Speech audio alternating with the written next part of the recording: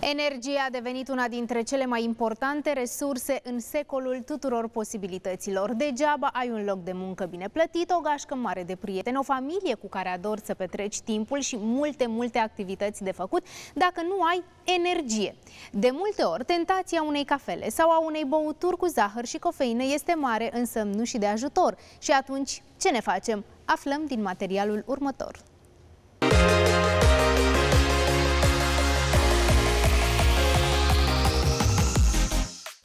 Este un rău necesar pentru cei care preferă această băutură miraculoasă. Există um, băuturi care conțin teină, cafeină, ca și cafeaua și care ne energizează și în această categorie intră ceaiul verde, ceaiul negru, guarana, uh, ceaiul mate. Dar există și plante care nu conțin acest energizant, dar ne cresc tonusul fizic și psihic. Și în această categorie intră rozmarinul, care chiar este un tonic general. Iasomia este un energizant mental. De asemenea, specialiștii vorbesc despre maca, ce este extrem de benefică pentru reducerea oboselii, pentru sporirea energiei și a rezistenței. Plantele adaptogene de tip ginseng, rhodiola, ashwagandha, pusuyoku sunt plante care adaptează organismul din punct de vedere fizic, psihic și emoțional la condiții de stres. Și atunci scad hormonii de stres și ne cresc hormonii fericirii, ai plăcerii, serotonina, dopamina și ne fac să ne simțim bine, energici, tonici.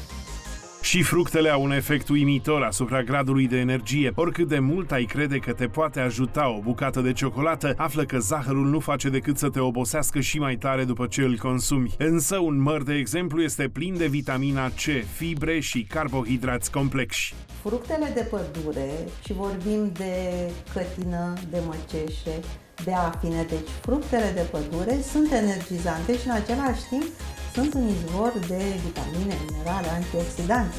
Și nu uita să bei apă. Cea mai des întâlnită cauza a oboselii este deshidratarea. Dacă nu este suficient de mult lichid în corp, volumul sângelui poate să scadă, iar corpul trebuie să facă eforturi mari pentru a trimite nutrienți și oxigen către celule. Oleurile esențiale, uh, atât în administrare interne cât și externă, sunt foarte bune pentru sănătatea noastră, pentru că unele dintre ele ne relaxează, ne calmează, elimină stresul de tip lavandă, sunătoare, uleiul esențial de trandafir. Alte uleiuri ne energizează, ne dinamizează, uh, de tip uleiul esențial de rozmarin, uh, uleiul esențial de iasomie.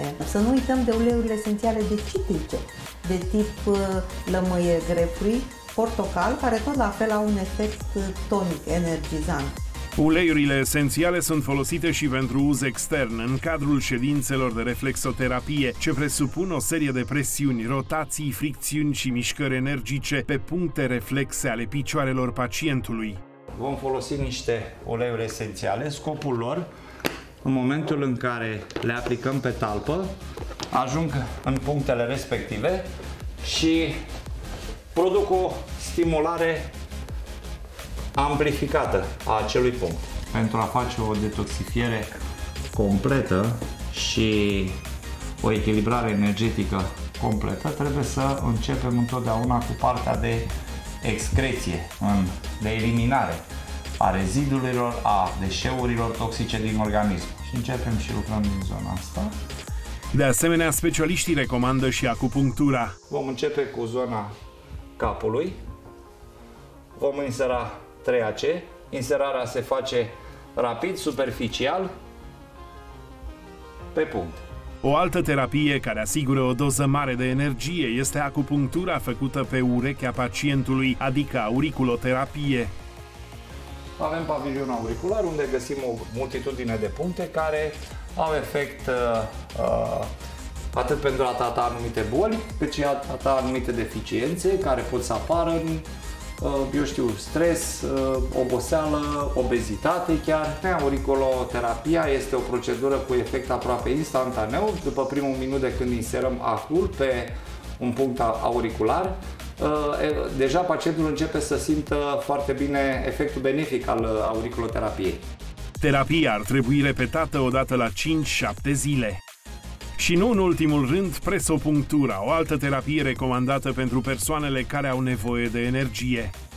Mai avem un punct unde putem aplica o presiune și putem folosi presopunctura și care dă o stare de bine în tot organismul. De asemenea, e important să dormiți cel puțin 7 ore în fiecare noapte, să aveți o alimentație echilibrată și să faceți mișcare.